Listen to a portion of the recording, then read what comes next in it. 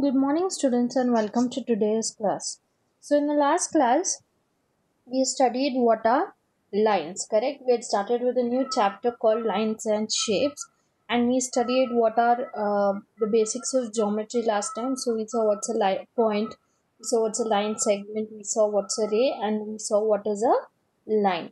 And also, we studied the different types of lines that is, straight and curved line, and we saw different types of straight lines also. So what are the different types of straight lines? We have curved line, sorry. We have the horizontal line, vertical line and the slanting line. Correct? So this is what we studied in the last class. So in today we'll study what are closed figures and open figures and also we'll learn a few plane figures. Alright, so before that let's just revise what we have done in the last class once. Okay, so we started with the basics of geometry that is we started with point. So what is a point? A point gives a position. Okay, so when you take a pencil, sharp pencil and make a dot or a mark a dot on a sheet of paper, that dot is called as a point. That dot is called as a point and you name it with capital letter. So we have named this with the capital letter P so this is the point P and this point P gives you a position of this dot. So P gives you a position of this dot or the point. So a point gives a position. Okay. Then we saw what is a line segment. So what's a line segment? It has two end points. Okay. And you can measure its length. Okay. So which is it is also the distance with the length of the line segment will be the distance between the two end points okay? And uh, a line segment is denoted like this. So if you want to denote a line segment you denote it like this. So uh, whatever you have named the two points right? So here they have named it as AB so this will be AB and on top of AB there will be a line like this. So this shows line segment AB. So we read it as line segment AB. Okay. Then we saw what is a ray. What is a ray? A ray has one endpoint. Okay. And on the other side it extends. Okay. So here C is the endpoint and D is from where it can be extended how much ever you want. So the arrow mark here represents that it can be indi- uh, extended to any length from that side. So CD is the ray. So we write it like this. CD. Sorry. So uh, let's write it again. So this is CD and you put the arrow mark on top. So the, uh, you read it as ray CD. Okay, you always write the end point first. The end point here is C. So we'll write C. Then write D and draw a line. Okay? And draw the arrow mark. You cannot write dc dc here means d is the endpoint but d is not the endpoint here. C is the endpoint. So you represent the ray cd as this. Okay? So this is a ray. Then we have a line. A line is something which has no endpoints. You cannot measure its length. So it can extend to any length on both the sides. Okay? A, ray, a line can extend on both the sides. Array extends only on one side because it has one endpoint, but a line doesn't have any endpoint, so it can extend on both the sides to any length. So we cannot measure a definite length here. So it is represented like this. So we have named it EF. So line EF. So you draw like this an arrow mark with both the sides. Okay. So you read it as line EF all right so this is what is a line. Then we saw the types of line so lines can be either straight or curved. Okay lines can be straight or curved. If you stretch a rubber band across your thumb and forefinger you will get straight lines. And the rubber band held loosely gives you a curved line. Correct? So figure 1 here shows a straight line. Figure 2 shows a curved line. And the last figure shows both curved and straight part. So uh, this dotted part here are straight and this part is the curved line. Okay so the types of lines are straight lines and curved lines. Then we have type of straight lines. Now straight lines can be either horizontal vertical or slant correct? So horizontal lines are sleeping lines vertical lines are standing lines and lines lines that are neither horizontal nor vertical are called as slanting lines. So here the line PQ shows a horizontal line, line RS is a vertical line and line ML is a slanting line. Okay, so these are the different types of straight lines, correct? And we solved a few questions on these. Now, today's class will start with something called the closed figure and open figures. So in class 2, you have studied about different shapes correct? Such as rectangle square circle and so on. So these shapes are called as closed figures as they enclose a region within their boundaries. Now if you see here these two shapes correct they are closed. There is no opening anywhere and they are enclosing this region within their boundary. Same with this shape. This region is enclosed within this boundary of all the sides so these are closed figures. So some figures are open. They do not completely close a region. Now if you see this the there are two lines slanting lines like this joining at this point but here it is open so it is not completely enclosing this region correct same way here it is open over here it is not completely closing this region so these are called as open figures okay then now we will let's see what is a plane surface and a curved surface. Okay. So what is the meaning of surface first? A surface is a region that you can see and touch. For example, when you fee, uh, place your palm, okay, on the wall, you are touching its surface, okay.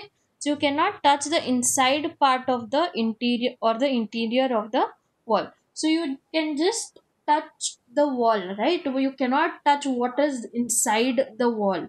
So the top part or that layer that wall is the surface okay? So surfaces can be plane or curved. So the wall is an example for a plane surface. Okay so if you, you can place your palm flat over a wall or a book without bending the palm so correct, when you place your palm on a wall or a book, you don't have to bend your palm. Okay, it will be flat. So when you keep your, uh, when you can place your palm flat on any surface, then that will be a plane surface. Now the same way if you try holding your bottle, you cannot hold your bottle by keeping your palm flat. You have to curve your or bend your fingers to hold the bottle. Correct? So if you cannot uh, can you place your hand around it without bending your fingers? No. You cannot uh, hold the bottle without bending your fingers. So if you cannot uh, hold the bottle without bending your fingers it is because it is a curved surface. So you hold, cannot hold any curved surface by keeping your palm flat. Okay you need to bend your fingers to hold it. Okay so that's a plane surface and a curved surface. So what are plane shapes? Shapes that have only length and breadth are called as the plane shapes. Okay so look at this figure of a rectangle. So here this is a rectangle. Correct? Now this rectangle is a closed figure or an open figure it is a closed figure because because it is enclosing a region here correct? So it is closed. So you can write here it is closed. Now it has four line segments at the edges. So uh, what are the edges here? The edges are a b c d. Okay so we can write okay I, the edges are a b c d and which are the line segments? The line segments are a b b c c d and d a or AD. Okay. So they are they are called sides. Okay. These line segments are called sides of a rectangle. it has dash corners how many corners does it have it has four corners these are points a b c and d they are called the vertices so a b c d are called as the vertices now here you can see two or more line segments in the figure. Okay? Uh, so here which they are dash and dash. So here ac and bd these are uh, diagonals. Okay? These are called the diagonals. So they are slanting lines and they are called as diagonals. So the rectangle has a dash surface plane or curved rectangle has a plane surface correct so in the above rectangle the line segments ab and dc are equal we can say ab is equal to dc is equal to length so this is the length of rectangle and here AD and BC are equal and it is the breadth of the rectangle. So this was rectangle. Similarly, let us see few other shapes. So we have different shapes. You'll have learned different shapes, correct? So you have learned what is a circle. So a circle has a curved surface. So what are the different and it has no vertices or corners. So what are the different uh, examples for circle? You have a wheel, moon, sorry, sun, then a coin. These are all circle in shape. So a circle is round, correct? So this is a circle. Then you have studied a triangle. What is a triangle? A triangle has three sides and three corners.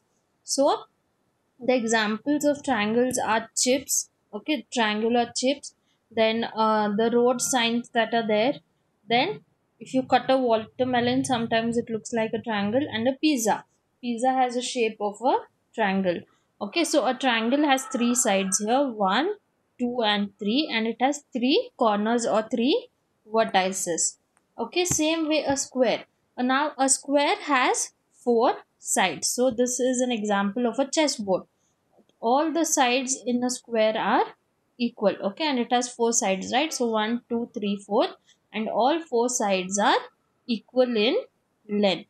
Okay, and again it has four vertices. So one, two, three, four. Okay, so the corners are called as the vertices. So a frame is also an example for a square. Then we have seen what is a rectangle. What is a rectangle? A rectangle has four sides, it has four corners, and its opposite sides are equal. So, a blackboard is an example for a rectangle, a door is an example for a rectangle.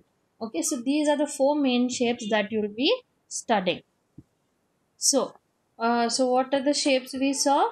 We saw triangle, rectangle, square and circle correct so number of vertices how many vertices a triangle has it has three vertices and then number of sides is three and number of diagonals it doesn't have any diagonals so number of diagonals is zero so some special uh, special features of triangle it is a plane closed figure with three straight edges edges means nothing but line segments okay so plane closed figure with three straight edges. Okay, it's a plane figure. It is a closed figure and it has three straight edges. Okay, then coming to rectangle. A rectangle has how many vertices? A rectangle has four vertices. Okay, and it has four sides and it has two diagonals. Okay, and so some special features of a rectangle its opposite sides are equal okay its opposite sides are equal in length the longer side is called the length and the shorter sides are called as the breadth of a rectangle okay and the diagonals are equal and both the diagonals in a rectangle are of equal length okay. So again uh, a rectangle is also a plane figure. It is also a closed figure. And it has four straight edges. Then coming to a square. So a square has four vertices, number of sides is 4 and number of diagonals is 2. So in a square all the four sides are equal. Okay. And the two diagonals are also of equal length okay again a square is also a plane uh, closed figure with four straight edges. Okay now a circle. A number of vertices in a circle is 0 okay and number of sides in a circle is also 0 and number of diagonals is 0 now some special features. So in a circle play it is a plane closed figure with a curved edge so it doesn't have any straight edges. It has a curved edge. Okay a circle has a curved edge. So this was all about closed figures and open figures and plane figures. Okay now let's solve a few questions on this. So exercise 5.2 on page number 144 in your books. Okay so name the following shapes. So first one what is this shape? We saw a chessboard as an example of which shape just now. It is a square. So how do you write square?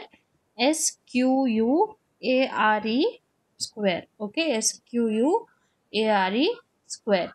Then b1 now it is a 50 rupees note correct? Which shape is this 50 rupees note? This note is rectangle in shape correct? So how do you write rectangle? R e c t a n g l e rectangle. Then c1 it is a coin. So we saw coin as an example for which shape? It is circle correct? So c i r c l e circle. Then d1 it is a road sign. And which shape is it? It's a triangle. So t r i a n g l e triangle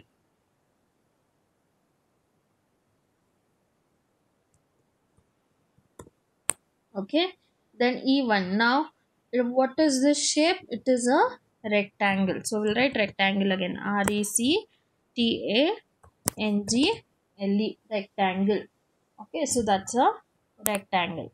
So that was question 1 so write the answers for question number 1 then we have question number 2 so they have told match the columns a plane closed figure with three vertices. So, which is a plane closed figure with three vertices? So, in this table above, if you see which figure has three vertices, a triangle has three vertices, correct? So, here, where is triangle? The fourth option is triangle, correct? So, here we'll write A. You can write A here. Instead of drawing lines, write the correct letter in front of the answers. Then, this plane figure has opposite sides equal and diagonals are also equal. So they are telling the figure has opposite sides equal and diagonals are equal. So if you see the special features in this table which shows that opposite sides are equal and diagonals are also equal, it is a rectangle. Correct? So it is over here. So it's a rectangle. Where is rectangle? Rectangle is here. So you write B in front of rectangle. Then a curved closed plane figure. So again look at the special features in the table above. So plane closed figure with a curved edge. So which is that it is a circle correct. So we'll write C in front of circle. Last one this plane figure has all its four sides equal. So which is a plane figure with all the four sides equal? it is a square. So we'll write d in front of square. Okay? So this was all about plane shapes and closed figure and open figures. In the last uh, in the next class we will study what are solid shapes. Okay? We'll learn what are solid shapes in the next class. For your homework draw the four shapes that is triangle rectangle square and circle in your books okay and write how many vertices, sides and diagonals each of these shapes have. Okay, so do that for your homework and we'll continue with solid shapes in the next class. Okay, thank you students.